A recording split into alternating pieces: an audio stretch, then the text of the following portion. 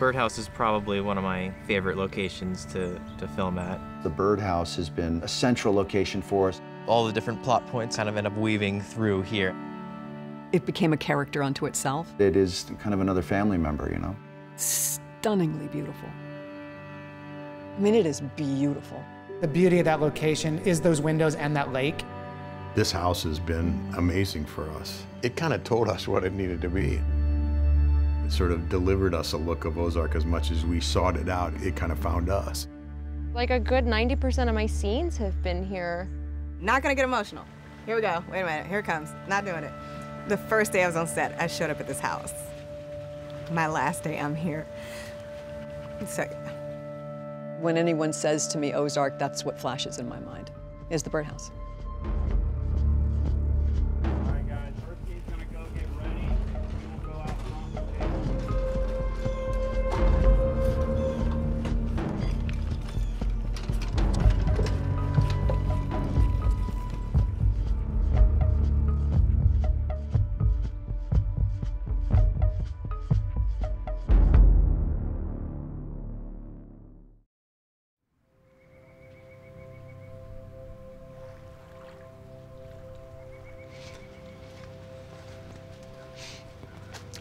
Honestly really kind of bizarre. This is like one of the last times I'm actually gonna walk through this place. I've, I mean, I've been here since I was like, like 12 or 13 or something. But let's take a look. These pictures, I think those were on our first day, actually, the whole Byrde family getting together at, at the studio to, to take these pictures. When they're like, you know, you get a little bit closer, a little, little bit closer, a little bit closer. That was when I really realized that it's gonna be a, a really good group of people to be working with. I think my first scene here was the scene, the yellow taxi cab scene with Laura. Mom, what are we doing here? Your father's laundering money for a Mexican drug cartel. It's like become our home in a way, and now, five years later, it's not going to be anymore. This house has always been constant and been consistent in the story. It signifies their, their unity and their togetherness as a family. The Byrde house definitely has sort of become a character in the show. The way it was initially introduced, it was like literally attached to Buddy. Who is that? That is Buddy Dieker. We're all dying the minute we're born. Goes fast. Don't waste it. Don't waste it. There's been a lot of really pivotal things that have gone down right in this area. A big scene from season one was when Navarro's hitman Garcia came in. I came in that door with the gun that I had gotten from Tuck. Stay back. But Buddy had had taken out the ammo from the gun, and he came in with a shotgun of his own. You need to shut your tamale hole. Sort of saved him from having to have that moment.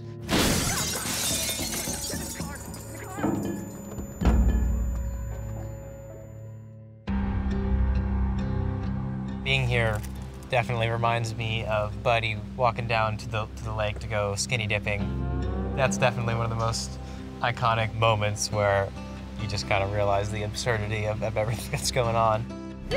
And it's cool how that was paralleled with Ben when he runs down to the lake. The Byrde house has been sort of tainted by different events that have happened.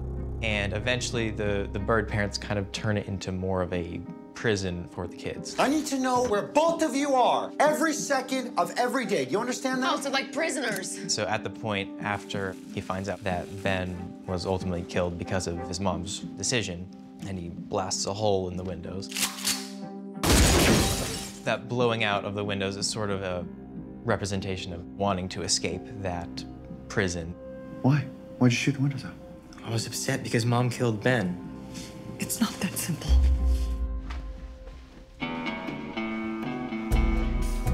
Here, of course, is the kitchen. This is where I feel like Jonah ends up grabbing snacks. Cool. Kind of stinks in there because this this doesn't isn't actually on. and here is the messy garage. Oh, and there's a bird in here too.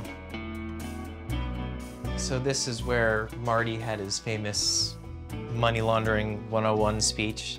Jonah is kind of, you can tell he's developing an, an interest for it. Could you explain all of it? Okay.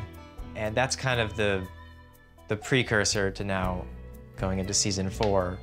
I'm not using your software. I wrote my own. Jesus, laundering at 14. Do not be proud of him right now.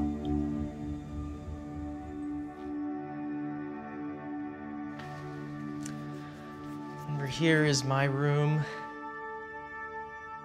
It's definitely some mixed feelings coming towards the end of, of this experience. It's ending, and that's that's sad for everyone, for the for the viewers, for us. We've you know come to have so many good relationships for cast and crew alike. But on the other hand, we achieved what we wanted to. We're happy with what we have.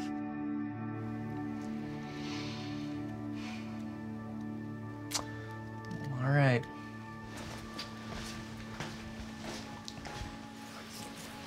Definitely gonna miss this this view.